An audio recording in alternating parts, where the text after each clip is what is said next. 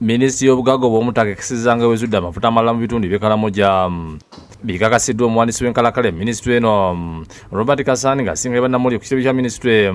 mu kampala agamba nti abakuva mu kitongo ky'amafuta ente basudde biraga nti mu bitundu by'emoroto kaddamu besini biraga nti bifaanagana ebyo biri mu bitundu by'ohoyima ne buliisa rocks eziriyo zezo rocks ezivaamu amafuta nekitusanyusa nnyo okulaba nti era amafuta ago gafuluma n'okufuluma ne gavaayo wetugalabye ezo areas etuyita sepages ng'ensulo. Niwankuulire banazira amafuta gano bwegenkana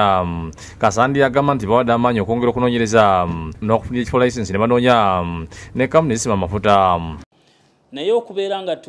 tumanyira ddala obungi bwago emirimu gikyaliwo nnyo. Waliwo emirimu gye tugenda okukola nga ffe ba ministry netutuuka ekiseera nga tumaze okukola egyaffe netubeera nga tuyita abamusigansimbi baleete sente nyingi ezinakola okusima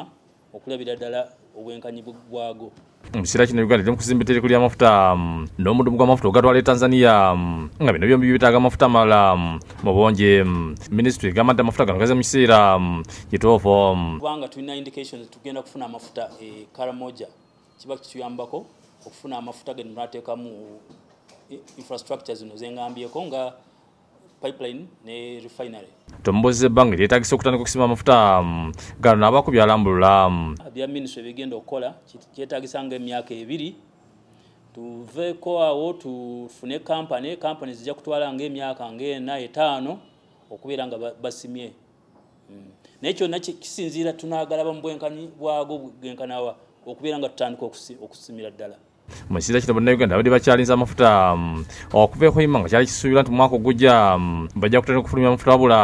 omutendera ogw'enkizo ogwa final investment decision gwakeerewa nga najje buli kati bannayuganda bakyalina okutuusa bbiri abiri mu ebiri amafuta agasuuliddwa ekalamu gye gakongera ku bungi obuli mu bitundu ebyohoyima nga gaweza baala z'obuumi mukaaga n'ekitundu edwadde muwumuza yakusakidde guli eno ku lwabukedde tv